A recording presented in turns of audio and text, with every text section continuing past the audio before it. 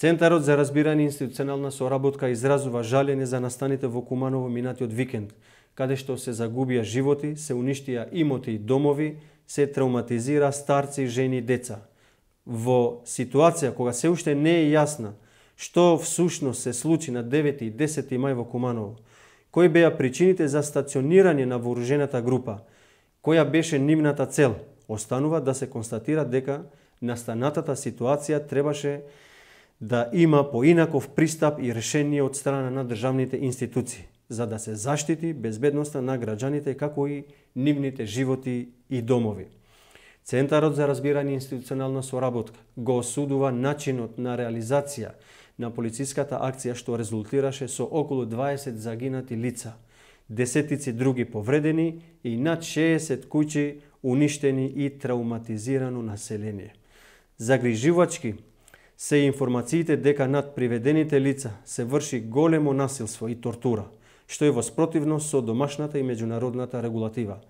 Во ова насока апелираме до државните институции да ги почитуваат домашните закони и меѓународните конвенции при третманот на овие притвореници. Апелираме до народниот правобранител да рефлектира позитивно во ова ситуација, да ја следи состојбата на овие луѓе и да преземе конкретни действија согласно со своите овластувања и должности. Имајќи ја предвид настанатата политичка ситуација во земјата во текот на изминатите неколку недели месеци, како резултат на објавувањето во јавност на прислушуваните телефонски разговори и започнатите судски постапки, Центарот за разбирање и институционална соработка смета дека оставките на двајцата министри од владиниот кабинет и на директорот на Управата за безбедност и контраразузнавање не се доволни за решавање на кризата и за излез од чорсокакот во кој веќе долго време се наоѓа Република Македонија. Како што истакнавме неколку пати досега, единствено решение е оставката на владата на премиерот Никола Груевски и формирање на преодна влада на ниво на експерти со одредени политички правни обврски должности до создавање на услови за реализирање на слободни и демократски избори. Исто така, ЦРИС го осудува навредливиот речник и јазик, користен од поранешната министерка за внатрешни работи и други представници на власт. Нешто што имавме можност да го слушнеме во некој од објавените телефонски разговори во јавноста, вклучувајќи и вчерашниот, каде јасно се потразбира навредата кон албанците, потикнувањето на етничка омраза и употреба на речник со кој се загрозува територијалниот интегритет на Република Македонија преку средување на работите еднаш за секогаш со албанците во ова држава. Во ова насока сметаме дека постојат елементи и импликации кои заслужуваат покренување на кривична пријава против поранешни и сегашни високи функционери во владата на Груевски за трите горе споменати кривични дела.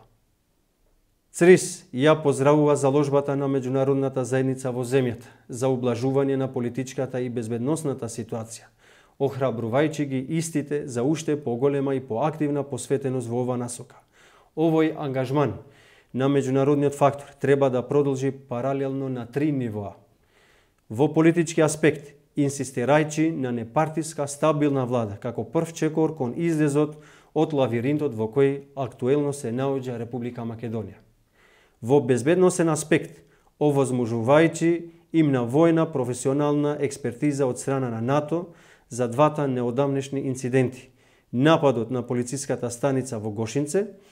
и настанот со фатални последици врз луѓето и домовите во Куманово, да ги реши сите дилеми и покренати сомневање во јавноста за она што на вистина се случило во овие два случаи, кој се е замешан во овие два настана. Во правен аспект, со директно учество на експерти од ЕУ и САД